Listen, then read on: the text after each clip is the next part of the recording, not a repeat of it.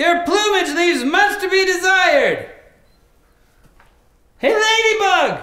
You could be a male ladybug, but people still call you lady anyway. Side note, you're not even a true bug. You're a beetle, man. Deal with it! Hey, buddy. Oh, hang on a sec. Hey, dear! What's got two opposable thumbs that can pick stuff up? Not you, Huffy! What are you doing? I'm giving nature a smackdown. And why? Well, I, I've, I've been reading up on the harsh country winters we can expect out here, Will. So I'm toughening these animals up. Right now, they're far too soft to survive the snowy months ahead. I see. And you're toughening them up. Yeah. And do you think you're the right guy for this job? heck yeah, I'm the toughest guy I know.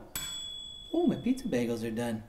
Oh, hang on a sec. Hey, Chipmunk! Nice face, buddy! Um, do you think this is the right approach, Ned? William, you look into the history of any success story, and you can bet there wasn't a heck of a lot of coddling going on in that childhood.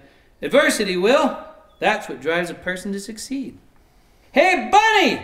Chunk it up, skinny! Only the fatties are gonna survive the deep freeze. Uh, that couldn't have been easy for you, buddy. I love bunnies. Well, you could try a softer approach. Oh, you don't think I have?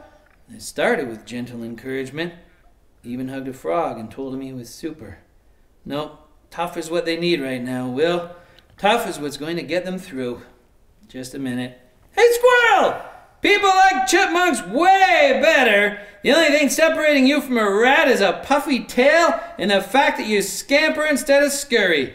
Just a tree hugging, puffy tailed, scampering rat. That's all you are, squirrel. It- oh, oh man, he's crying. Yeah, I better get out there and give him a tough hug. Go get him, champ. Whoa, that bunny's ready for winter.